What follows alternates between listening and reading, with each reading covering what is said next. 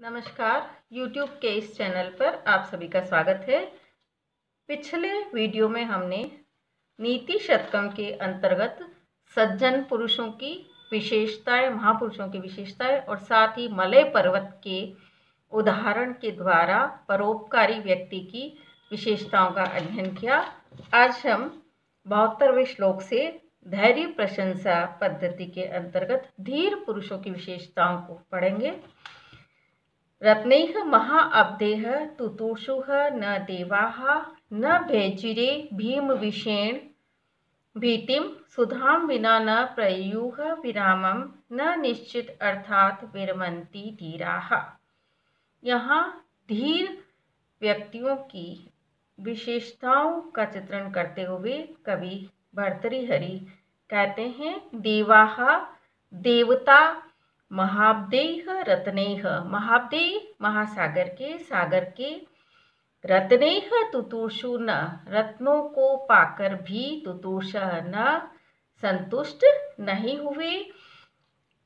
न भेजिरे भीम विषेण भीतिम। भीम विषेण भयंकर विष से भी भीतिम न भेजिरे।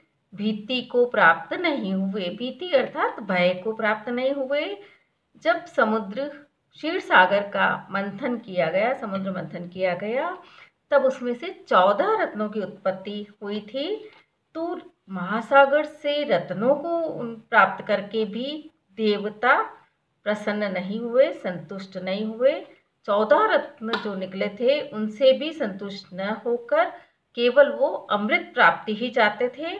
अमृत को ही प्राप्त करना चाहते थे और जो हलाहल विष निकला, उससे भी देवता लोग भयभीत नहीं हुए। सुधाम बिना न प्रयुह विरामम। सुधा के बिना, अमृत के बिना, उन देवताओं ने विरामम न प्रयुह विश्राम को प्राप्त नहीं किया। जब तक देवताओं ने अमृत को प्राप्त नहीं कर लिया, तब तब तक वे क्षीर सागर का मंथन करते रहे। न निश्चित अर्थात विरमंती धीराहा धीराहा धीर पुरुष, धैर्यशाली व्यक्ति, निश्चित अर्थात, निश्चित लक्ष्य को, निश्चित प्रयोजन की प्राप्ति तक न विरमंती नहीं रुकते हैं। यहाँ कवि ने धीर की ही विशिष्टता का प्रतिपादन करते हुए कहा है कि धीर पुरुष जब तक अपने लक्ष्य को, उद्देश्य को अर्जित नहीं कर लेते हैं, तब तक वे कार्य करने से नहीं रुकते हैं, निरंतर प्रयासरत रहते हैं, चाहे कितनी ही बाधाएँ, कितनी ही, कितने ही विघ्न उपस्थित हो जाए, फिर भी वे अपने कार्य को नहीं छोड़ते हैं। देवताओं के दृष्टांत द्वारा इसका सुंदर प्रतिपादन कवि ने किया है। जिस तरह की देवताओं ने क्षीर सागर के मंथन के समय जो चौदह रत्न उत्पन्न हुए, उससे भी उनको संतोष नहीं हुआ और तब तक वे समुद्र का मंथन करते रहे, जब तक कि अमृत बाहर निकल कर नहीं आया। अमृत को पाकर ही वे संतुष्ट हुए। ऐसे ही धैर्यशाली पुरुष भी जो लक्ष्य धार लेते हैं, जिस लक्ष्य को पूर्ण करने का वो संकल्प कर लेते हैं, उस लक्ष्य, उद्देश्य या प्रयोजन को पूर्ण किए हुए, पूर्ण किए बिना कभी भी बीच में नहीं रुकते हैं। निरंतर उस लक्ष्य या उद्देश्य की पूर्ति के लिए प्रयासरत रहते हैं। महाकवि कालिदास ने भी धीर पुरुष की परिभाषा देते हुए कहा है, विकार हेतु सति विक्रियन्ते, येषां न चेतांसी स एव धीरा। विकार हेतु विकार के हेतुओं के, राग देशादि विकार के कारणों के उपस्थित रहने पर भी जो व्यक्ति इन राग देशादि से प्रभावित नहीं होता, विकृत नहीं होता, काम, क्रोध, लोभ, मोह आदि के हेतु रहने पर भी जो इनसे प्रभावित नहीं होता है, सदैव सभी परिस्थितियों में समान व्यवहार करता है और सदैव अपने उद्देश्य की पूर्ति के लिए प्रयत्नशील रहता है, लक्ष्य प्राप्ति के लिए प्रयासरत रहता है, उसे ही धीर पुरुष कहा गया है। तो यहाँ पौराणिक संदर्भ के द्वारा कवि ने धैर्यशाली पुरुषों की विशिष्टता का, उनकी, उनके व्यवहार का प्रतिपादन किया है। अंतिम पंक्ति में सामान्य कथन है, इसलिए अर्थांतर न्यास अलंकार यहाँ है। अगला श्लोक है, प्रारभ्यते न खलु विघ्नभयेन नीचैः, प्रारभ्य विघ्नभेताः विरमन्ति मध्या, विघ्नैः पुनः पुनरपि प्रतिहन्यमानाः, प्रारब्धम उत्तम जना न परित्यजंती यहाँ तीन प्रकार की श्रेणियाँ मनुष्य की बताई गई है। मनुष्य का, उनके कार्यों के आधार पर श्रेणी विभाजन किया गया है। नीचे यह नीच श्रेणी के व्यक्ति, नीच पुरुष, खलु, निश्चय ही, विघ्न भयेन, बाधाओं के डर से, बाधाओं के भय से न प्रारंभ थे। किसी कार्य को प्रारंभ ही नहीं करते हैं। मध्य मध्यम श्रेणी के व्यक्ति प्रारंभ किसी कार्य को प्रारंभ करके विघ्न विहता विघ्नों से, बाधाओं से, समस्याओं से विहत होने पर, पीड़ित होने पर, बाधित होने पर विरमंती रुक जाते हैं। अर्थात कार्य को बीच में ही छोड़ देते हैं, उसे पूर्ण नहीं करते हैं। विघ्न पुनः पुनः अपि प्रतिहन्य माना विघ्न विघ्नों के द्वारा बाधाओं, संकटों, आपदाओं समस्याओं के द्वारा पुनः पुनः अपि, पुनः पुनः बार बार अपि भी प्रतिहन्यमाना प्रतिहन्यमाना सताए जाने पर भी, प्रताड़ित किए जाते हुए अपि अर्थात भी उत्तम जना, उत्तम श्रेणी के पुरुष, उत्तम श्रेणी के मनुष्य प्रारब्धम न परित्यजंती प्रारब्धम, प्रारंभ किए हुए कार्य को न परित्यजंती नहीं छोड़ते हैं। तो इस प्रकार से व्यक्तियों के स्वभाव और उनकी कार्यशैली के आधार पर महाकवि भर्तरी हरि ने पुरुषों का त्रिविध श्रेणी विभाजन किया है। उत्तम श्रेणी के जो व्यक्ति होते हैं, वो विशिष्ट प्रकार के व्यक्ति होते हैं, जो कभी भी अनेक समस्याओं, कष्टों, बाधाओं का सामना करते हुए भी जिस कार्य को उन्होंने प्रारंभ किया है, उसे पूरा करके ही दम लेते हैं, पूरा करके ही छोड़ते हैं, किसी भी कार्य को अधूरा नहीं छोड़ते हैं, चाहे कितनी समस्याएँ, कितनी ही बाधाएँ उत्पन्न हो, ऐसे ही मध्यम श्रेणी में वे पुरुष रखे गए हैं, जो कार्य प्रारंभ तो कर देते हैं, लेकिन बाधाओं, समस्याओं, विघ्नों के आ जाने पर वे उस कार्य को अधूरा छोड़ देते हैं, उसे पूरा नहीं करते हैं बाधाओं से, विघ्नों से घबरा कर या हतोत्साहित होकर, हताश होकर वे किसी कार्य को पूरा करने का साहस नहीं जुटा पाते हैं, उसे बीच में ही छोड़ देते हैं। ऐसे मध्यम श्रेणी के व्यक्ति कहे गए हैं और नीच या निकृष्ट श्रेणी में सबसे अधम श्रेणी के तो वे व्यक्ति है जो कार्य करना ही नहीं चाहते हैं, किसी कार्य को प्रारंभ ही नहीं करते हैं। उन्हें अकर्मण्य, निष्क्रिय या आलसी व्यक्तियों में रखा जा सकता है। उस श्रेणी में उन्हें प्रतिपादित कवि ने किया है। तो इस प्रकार व्यक्ति क्योंकि संसा, संसार में अनेक तरह के स्वभाव के लोग होते हैं। कहा भी गया है भिन्न रुचि ही लोग हैं भिन्न भिन्न रुचि वाले लोग होते हैं। अनेक प्रकार की प्रवृत्तियाँ व्यक्तियों में पाई जाती है। कुछ आलसी होते हैं कुछ कर्मठ होते हैं और कुछ कार्य करना चाहते भी हैं लेकिन उसे पूरा भी नहीं करते हैं। तो इस आधार पर कार्य की प्रवृत्ति के आधार पर तीन प्रकार के मनुष्यों को कवि ने बताया है।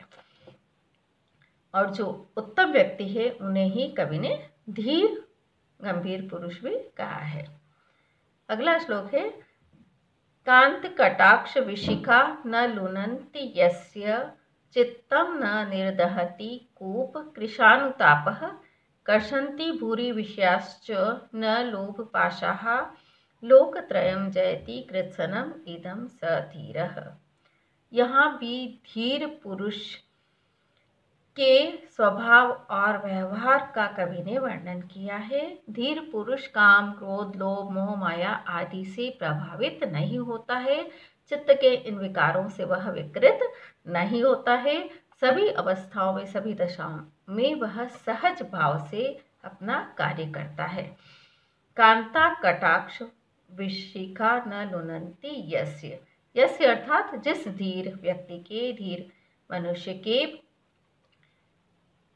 को कांता कटाक्ष, कांता स्त्री के कटाक्ष विशिखा, कटाक्ष पात रूपी विशिखा यानी बाण। यहाँ रूपक अलंकार है, कटाक्ष रूपी बाण न लुनंती नहीं वेद सकते हैं। अर्थात कामिनियों के, स्त्रियों के कटाक्षों, अक्षुओं के या आँखों के विभिन्न दृष्टिपातों से जो व्यक्ति प्रभावित नहीं होते हैं स्त्रियों के कटाक्ष रूपी बाण जिसे नहीं बींद सकते, नहीं भेद सकते, चित्तम न निर्दहति कोप कृषानुताप। कोप कृषानुताप, क्रोध रूपी कृषाणु अग्नि। अग्नि की ताप उष्णता। क्रोध रूपी अग्नि का जो ताप है, चित्तम न निर्धाती जिनके चित्त को नहीं जला सकता। जैसे अग्नि किसी वस्तु को जला देती है वैसे क्रोध व्यक्ति के चित्त को, मन को भस्म कर देता है, जला डालता है, उसे विकृत बना देता है। तो जो धीर पुरुष है, वो क्रोध से भी प्रभावित नहीं होते हैं, क्रोधी स्वभाव के नहीं होते हैं। क्रोध जिनके वश में होता है, क्रोध को जो संयमित, नियंत्रित कर लेते हैं। लोभ पाशाह, बुरी विषया च। बुरी विषया बुरी अर्थात अनेक। अनेक सांसारिक भौतिक विषय और लोभ पाशाह लोभ के पाश लालच के पाश न कर्षंती जिसे अपनी ओर नहीं खींचते हैं। जो धीर पुरुष होते हैं, वो विभिन्न सांसारिक भौतिक विषयों की ओर आकर्षित नहीं होते हैं। लोभ, लालच की ओर आकर्षित भी नहीं होते लालसा, लोभ, तृष्णा की प्रवृत्ति उनमें नहीं होती है। सांसारिक विषयों से वो ऊपर उठे हुए होते हैं। लोकत्रयम जयति। कृत्सनम इदम स धीर। वह धीर। पुरुष इदम कृत्सनम लोकत्रयम। इस संपूर्ण कृत्सनम अर्थात पूरे संपूर्ण लोकत्रयम त्रिलोक पर जयति विजय प्राप्त कर लेता है। संपूर्ण त्रिलोक को वह धीर पुरुष जीत लेता है।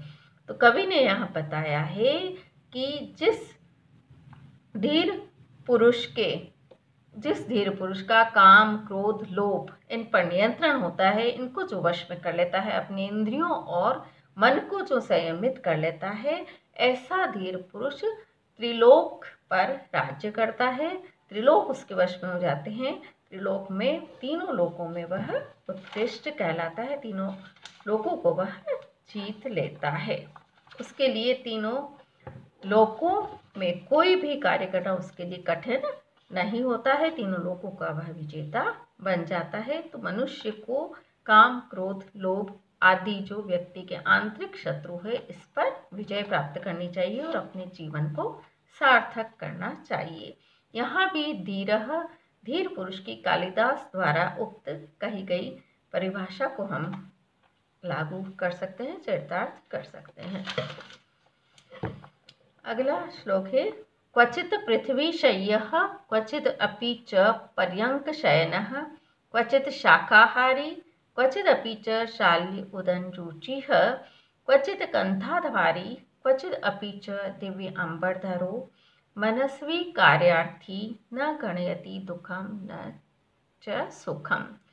यहाँ महाकवि भारतरी हरि ने मनस्वी पुरुष की सुंदर परिभाषा ती है, मनस्वी व्यक्ति, मनस्वी पुरुष, मनस्वी का अर्थ अर्थ है दृढ़ संकल्पित व्यक्ति, अपने कार्य को करने के प्रति दृढ़ संकल्प जिसने किया है, जो अपने कार्य को पूर्ण करता है, चाहे कैसी भी परिस्थिति और सभी परिस्थितियों में सुख या दुख, सभी विपरीत परिस्थितियों में जो समान व्यवहार और आचरण करता है, उसे कवि ने मनस्वी कहा है। क्वचित पृथ्वी संयह मनस्वी पुरुष। क्वचित कहीं पृथ्वी संयह पृथ्वी पर सोता है, क्वचित अपी च पर्यंक शयन और क्वचित अपी कहीं पर भी पर्यंक शयन पलंग पर सोता है। क्वचित शाकाहारी, कभी वह शाकाहारी होता है, कहीं शाक, यानी सब्ज़ी खाकर अपना भरण करता है। क्वचित अपी च शाल्य उदन रुचि। और कहीं पर शाल्य उदन, शाली यानी उत्कृष्ट तरह के जो चावल है, उसके भात में उसकी रुचि होती है। उस शाल्य उदन को, चावल के भात को खाकर वह प्रसन्न होता है। क्वचित कंथाधारी है। कहीं कंथाधारी कंथा अर्थात फटे पुराने वस्त्रों को पहनने वाला, धारण करने वाला होता है। क्वचित अपीच और कहीं दिव्य अंबर धरो, दिव्य वस्त्रों को धारण करने वाला, दिव्य से तात्पर्य है। या कीमती बहुमूल्य मूल्यवान वस्त्रों को धारण करने वाला होता है। मनस्वी कार्यार्थी कार्यार्थी कार्य की सिद्धि चाहने वाला मनस्वी पुरुष, न गणयति दुखम, न च सुखम। दुखम च, न सुखम गणयति। न तो वह दुख को गिनता है और न वो सुख को गिनता है वह न दुख की परवाह करता है और न सुख की परवाह करता है। चाहे दुख हो, अर्थात सुख हो, कैसी भी परिस्थिति रही हो, सभी परिस्थितियों का वह डटकर सामना करता है। सभी परिस्थितियों में वह समान व्यवहार करता है और अपने कार्य की सिद्धि में, प्रयोजन की सिद्धि में लगा रहता है। जब तक प्रयोजन सिद्ध न हो जाए, तब तक वह विरत नहीं होता है, नहीं रुकता है। चाहे उसे सुखों का सागर मिल जाए, अर्थात दुखों के पहाड़। चाहे पृथ्वी पर सोना पड़े या पलंग पर, मृदु सैया पर उसे सोना मिले, चाहे सब्ज़ी खाकर उसे अपना जीवन यापन करना पड़े, चाहे अच्छे उत्कृष्ट व्यंजन उसे मिले, चाहे फटे पुराने वस्त्र पहनने पड़े, चाहे बहुमूल्य वस्त्र धारण करने का उसे सौभाग्य मिले, सभी परिस्थितियों में वह समान आचरण करता है। किसी भी न तो सुख में वो अति गर्वित होता है, अहंकार करता है और न ही दुख में वह घबराता है। सभी परिस्थितियों का समान रूप से वह सामना करता है, सभी परिस्थितियों में समान रूप से वह व्यवहार करता है। अब अगला श्लोक है, निंदन्तु नीति निपुणा यदि वा स्तुवन्तु, लक्ष्मी समाविशतु, गच्छतु वा यथेष्टम अध्येव वा मरणम अस्तु, युगान्तरे वा न्यायात पथ प्रविचलन्ति पदम न धीराः। यहाँ उदत्त अलंकार की कवि ने योजना की है, धीर पुरुष के उदत्त चरित्र का आचरण का यहाँ कवि ने वर्णन किया है। नीति निपुणा नीतो निपुणा इति नीति निपुणा, नीति में कुशल, नीति कुशल, व्यवहार कुशल, लोग निंदंतु निंदा करे यदि वा, यदि निंदा करे वा अथवा स्तुवंतु अथवा स्तुति करे, प्रशंसा करे। किसी व्यक्ति की धीर पुरुष के लिए है कि धीर पुरुष की यदि नीति निपुण नीतियों में कुशल पुरुष निंदा करे, वा यदि वा अथवा स्तुवंतु, उसकी प्रशंसा करे। लक्ष्मी समाविष्टु, गच्छतु वा यथेष्टम लक्ष्मी समाविष्टु समाविष्टु अर्थात आए। उसके पास लक्ष्मी आए, वा अथवा यथेष्टम गच्छतु। यथेष्टम गच्छतु इच्छा अनुसार चली जाए। वह धीर पुरुष लक्ष्मी संपन्न हो, धनाढ़ हो जाए, समृद्ध हो जाए, अथवा लक्ष्मी उसके यहाँ से चली जाए, अर्थात वह निर्धन हो जाए, दरिद्र हो जाए, अध्येव व मरणम अस्तु योगांतरे व अध्येव व आज ही व, अर्थात अथवा अथवा आज ही मरणम अस्तु मरण को प्राप्त हो जाए इसकी मृत्यु हो जाए युगांतरे व अथवा युगांतर में मृत्यु को प्राप्त हो, युगांतर अर्थात कुछ समय बाद आज ही मृत्यु का वह वर्ण कर ले, मृत्यु उसे प्राप्त हो जाए, व अथवा युगांतर में कुछ समय बाद उसे मृत्यु प्राप्त हो। न्यायात पथ प्रविचलती धीरा पदम न, धीरा धीर पुरुष, न्यायात पथ न्यायोचित मार्ग से पदम न प्रविचलती एक कदम भी, एक डग भी न प्रविचलती विचलित नहीं होते हैं।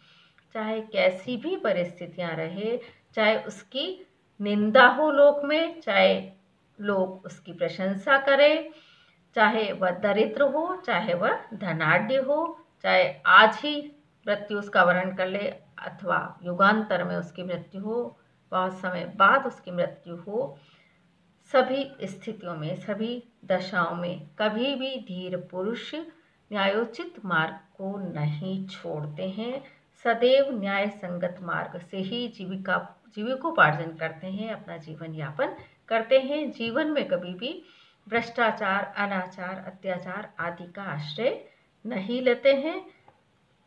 न्याय संगत तरीके से जीवन यापन करते हुए धीर पुरुष सदैव दूसरों के लिए भी आदर्श प्रस्तुत करते हैं और दूसरों के भी प्रेरणा स्रोत बनते हैं।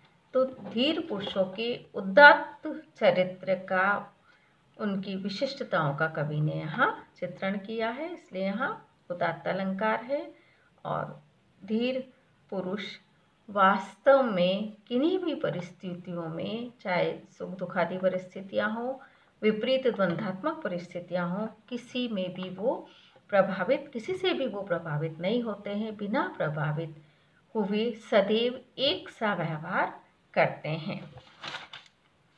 इस प्रकार से हमने चौहत्तर श्लोक तक धीर पुरुषों की विशिष्टताओं का, उनके आचरण का और व्यवहार का अध्ययन किया है। आज बस इतना ही।